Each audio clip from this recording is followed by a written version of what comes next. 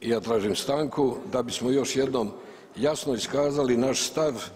o tome zašto nećemo glasati za odnosno zašto ćemo glasati protiv izbora gospodina Turudića za glavnog državnog odvjetnika i da potvrdimo da ćemo nastaviti i nećemo odustati od takozvanoga ili kako je to nas etiketirao većinu građana u ovoj zemlji od političkog voajerizma. Da, bit ćemo voajeri i ubuduće jer nećemo dozvoliti da nam se začepe uši, da nam se zatvore oči i da nam se stavi prst na usta da ne smijemo i ne možemo govoriti. Dakle,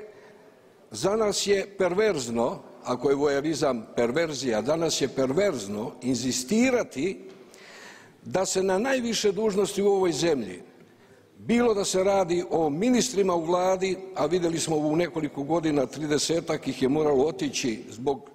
suspektnoga u najmanju ruku ponašanja do evo predlaganja čovjeka koji je evidentno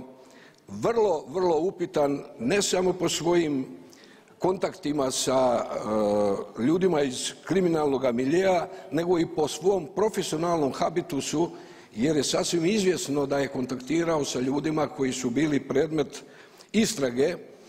i koji ga u potpunosti diskvalificiraju za obavljanje ovako visoke dužnosti. Za nas je perverzno graditi sustav ili istrajavati na sustavu koji suspendira elementarna pravila ili bolje rečeno